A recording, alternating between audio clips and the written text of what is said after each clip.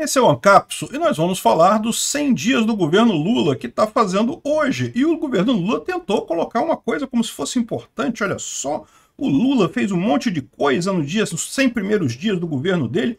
Vamos entender qual é o balanço desses 100 dias reais do governo Lula, o que, que ele fez de positivo, e, bom, vocês vão ver que a conclusão que a gente vai chegar é que ele cumpriu muito do que a gente esperava. A verdade é essa. O problema é que o que a gente esperava não eram coisas boas. Essa notícia foi sugerida. Sugiro notícia para o Peter ler para mim, Desmelhora Fazendo L e várias outras pessoas. Obrigado aí ao pessoal que sugeriu a notícia. Obrigado a você que está assistindo o nosso vídeo. Se você gosta do nosso conteúdo, por favor, deixe o seu like e se inscreva aqui no canal, né? Pois bem, olha que coisa. O próprio Lula escreveu um artigo se acredita nisso? O Lula lá sabe escrever, sabe ler? Enfim, o, alguém escreveu um artigo no nome do Lula lá no Correio Brasiliense, em que ele descreve que os primeiros 100 dias foram de reconstrução. Reconstrução nada, foram de destruição. Ele voltou atrás em um monte de avanços que a sociedade brasileira tinha conseguido nesse período em que o PT esteve fora do poder. Por exemplo, a lei das estatais, que garantia que políticos não poderiam participar da gestão de estatais. Quantos problemas a gente teve no passado por ingerência política na Petrobras e em outras áreas, né? O pessoal fala assim, ah, mas isso não quer dizer nada, porque as pessoas que foram pegas com corrupção na Petrobras eram é, coisas de carreira e coisa e tal. Não, mas olha só, mas o problema é justamente isso. O comando político corrompe os funcionários de carreira. O fato de você ter uma gestão política da Petrobras faz com que os funcionários de carreira sejam corrompidos por ela, né? Esse é o problema. O problema, a origem do problema é a gestão política. E sim, a gestão política também influenciou na, eh, na roubalheira lá da época da Petrobras, né? Então era muito importante você tirar as estatais da interferência política direta. Veja, enquanto for estatal, vai ter alguma interferência política, sempre vai ter, não tem como evitar. A empresa pertence ao governo brasileiro, então o governo brasileiro, em última análise, sempre consegue interferir de alguma forma. Mas pelo menos você tinha um colchão técnico ali, um colchão de pessoas capacitadas visando atender o, uh, uh, o conselho diretor o conselho administrativo da empresa, mais do que apenas ao governo federal. Agora, com a lei das estatais jogadas no lixo, uma das grandes coisas que o Lula conseguiu nesses primeiros 100 dias, voltou ao que era antes, né? Voltou a roubalheira toda. Aliás, é, acho que ficou bastante consistente o lema que o Lula colocou nesse, nesse, é, nessa campanha de marketing dele. É campanha de marketing, olha aqui, ó. O Twitter tá pagando aqui, ó, no, no Explore do Twitter, a primeira coisa é que o Brasil voltou.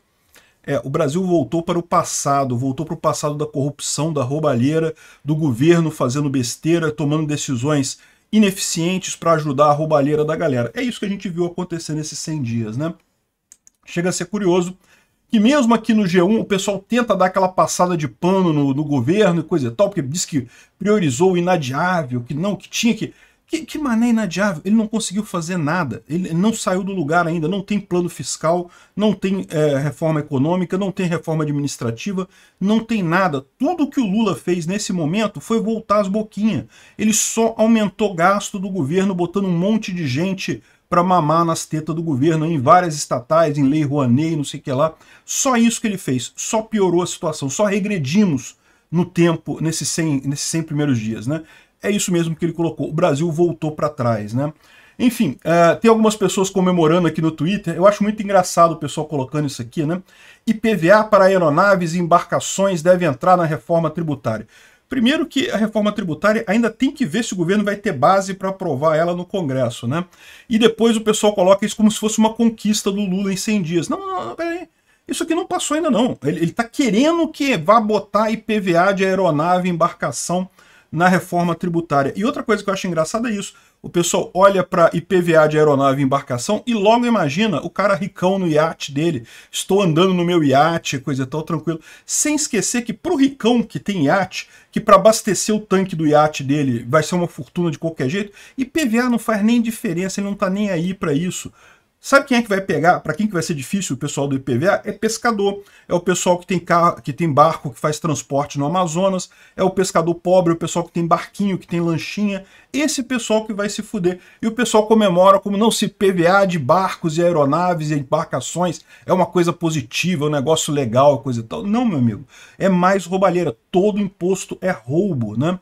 E é, existe um motivo pelo qual o governo não cobra IPVA de barcos e aeronaves, que é simplesmente a dificuldade de fazer isso é, face ao valor que você arrecada. São muito poucas aeronaves e embarcações, no final das contas, o valor que ele arrecada com isso é mínimo. E lembra, isso daqui vai para o governo estadual, não é governo federal, né?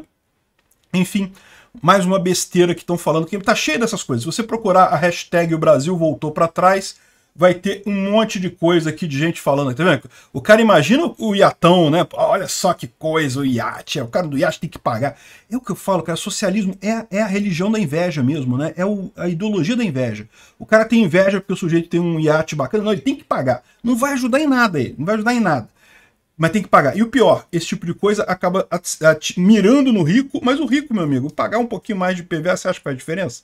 O cara já gasta uma grana. Meu amigo, você ter um iate é o, é o cúmulo de você dizer que não tem, que gosta de jogar dinheiro fora. Porque é caro pra cacete esse negócio, a manutenção é cara pra cacete, combustível é caro pra cacete, tudo é caro no iate, tudo é caro para você ter isso daí. É só o cara que quer jogar dinheiro fora mesmo. Para ele, jogar mais dinheirinho para botar lá no IPVA não vai fazer diferença nenhuma. O que vai ferrar isso daí é o pessoal pescador, é o pessoal que usa barco para alguma coisa, que realmente precisa do barco. Esse pessoal que vai ser mais afetado, sabe por quê? Porque eles são muitos. Pessoal que tem arte, tudo bem, tem, o cara tem dinheiro, mas é uma meia dúzia que tem, pô. Enfim. Fica esse negócio aqui, o pessoal fica brincando com isso daqui, que não, que é que bom, é para isso mesmo que eu coloquei o Lula e coisa e tal. É, vão se ferrar nessa daí. Vão acabar, vão atirar no rico, acaba acertando o pobre, né? É lógico, o pessoal aqui do G1 já está passando pano, tradicional passada de pano no Molusco, falando que em 100 dias ele já cumpriu um terço das promessas de campanha, né? Aí você fala, caramba, que coisa impressionante, como é que ele cumpriu isso tudo? Aí você vai ver a maior parte das coisas é basicamente manter programas do Bolsonaro. Então, por exemplo, ele falou que não quer aprovar o Bolsa Família. Cara, o Bolsa Família já estava aí, porra. Só mudou o nome. O, no, o nome era Auxílio Brasil, virou Bolsa Família. Que diferença que fez isso? Prometeu criar os ministérios. Ou seja, tudo, é, a verdade é essa. É, eles estão mentindo aqui? Não, não estão mentindo. O que o Lula prometeu, ele fez.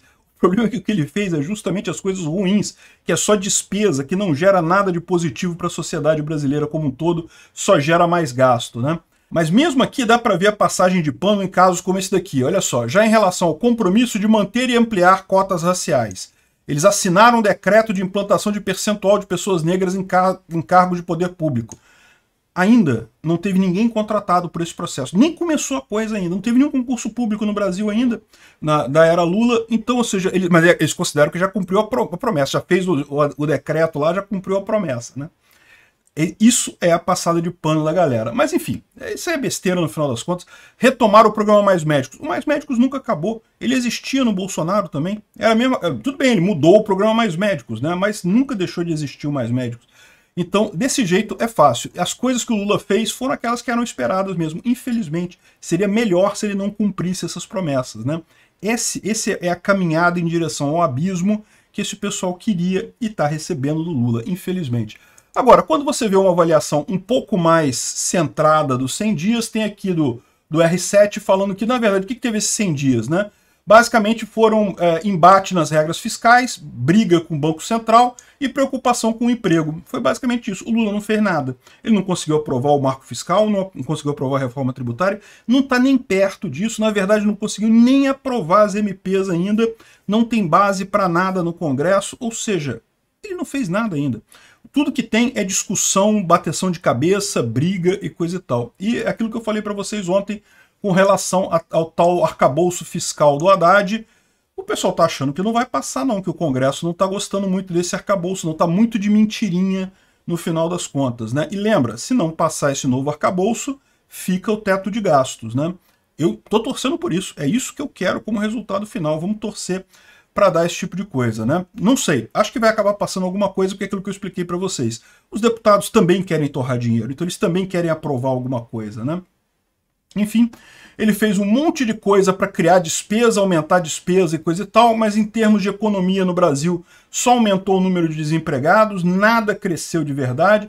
Resolveram recriar um PAC novo, sendo que o PAC não funcionou nas duas vezes anteriores, nada indica que vai funcionar agora. O PAC acaba virando um programa de aceleração da corrupção, porque ele ajuda só as empresas que estão ali mamando naquela teta ali do Estado. Enfim, briga do, do executivo com o Banco Central, Uh, ou seja, no final das contas não fez diferença nenhuma, só piorou a situação econômica aqui, né? Bem, uh, e tem também uma crítica um pouco mais forte, que eu, eu, eu, subscrevo essa crítica do Rogério Marinho aqui, sobre a situação do Lula, em que ele fala que na verdade foram 100 dias de pesadelo, em que a gente regrediu muita coisa. Primeiro, que ele está com um governo extremamente fraco. Isso é preocupante, porque vai ficar é, é, esse impasse dele não conseguir fazer nada e coisa e tal, no final das contas pode jogar a gente numa crise muito maior do que a gente esperava, né? Mas o pior é justamente as coisas que ele, a gente sabia que ele ia acabar fazendo, né? Então ele falou que é, a lei das estatais, que tinha as melhores práticas de governança e coisa e tal, incluindo as práticas preconizadas na OCDE, foi jogada fora e agora tem uma carreta de companheiro lá na direção do BNDES, da Petrobras, Marco do saneamento já acabou também, já destruiu o marco do saneamento completamente. Fez a PEC do fura-teto, que criou uma bomba fiscal de mais de 145 bilhões, é, sob o pretexto falso de cumprir a promessa do Auxílio Brasil. Mas como eu falei, na verdade, o Auxílio Brasil precisava de 50 bilhões. Os 145 bilhões foi para torrar com outras coisas aí no final das contas, né? A expectativa da inflação piorou o Banco Central teve que aumentar os juros e no final das contas não vai ajudar em nada isso daí. Né? É, infelizmente é muito triste essa, essa sequência de erros. Né? Aqui tá as, as, bobagens que o Lula falou nesses 100 dias aqui, nesses primeiros dias do, do governo dele, né? um monte de bobagem falada por ele e por outras pessoas do seu governo é bobagem BC independente, é bobagem que BC independente é melhor. Não, não é bobagem, Lula. A gente está vendo justamente nesse momento. Se ele não fosse independente, já tinha baixado a taxa de juros, te ajudando e prejudicando o país no futuro. Disse que o Brasil tem cultura de juros altos. Que negócio é esse? Mas não é cultura, isso é matemática, isso não é cultura. O Brasil não pode ficar refém de Campos Neto, nem do Lula. Muito pior é ficar refém do Lula. Diz que decisão do BC é preocupante pode comprometer o resultado fiscal. Isso foi o Haddad que disse. Foi na, na, decisão de manter a taxa de juros. É, é só cortar despesa. O resultado fiscal você sempre pode resolver cortando despesa. O problema é que o governo não quer fazer isso, né? Enfim, é uma tragédia, uma tristeza muito grande. O pessoal vai tentar passada de pano, lógico que eles vão tentar passada de pano, mas no final das contas o Lula não tem nada para apresentar. Mas se prepara. Isso daqui, esse inferno dos 100 primeiros dias, é a melhor parte do governo Lula. O pior vai vir a partir de agora. Obrigado por assistir o vídeo até o final. Além de curtir, compartilhar e se inscrever no canal, considere se tornar patrocinador com valores a partir de R$ 1,99. Clique no botão Seja Membro abaixo para saber as condições e vantagens de patrocinar o canal. Mais informações sobre o nosso projeto, visite nossos sites indicados na tela.